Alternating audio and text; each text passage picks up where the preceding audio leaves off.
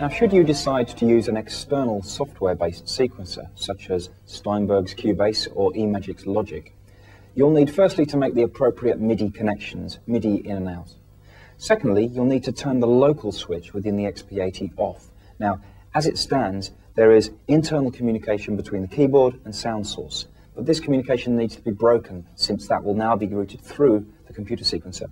So into System, MIDI, look for the local switch and turn that off.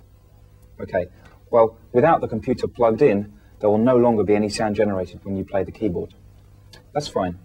Now, both of those bits of software I mentioned contain patch librarians, and in the librarian, you will be asked for bank select messages to be input. Now, obviously, the XP80 contains much more than 128 patches, so simple MIDI program change commands from the computer will not be enough to access the sounds.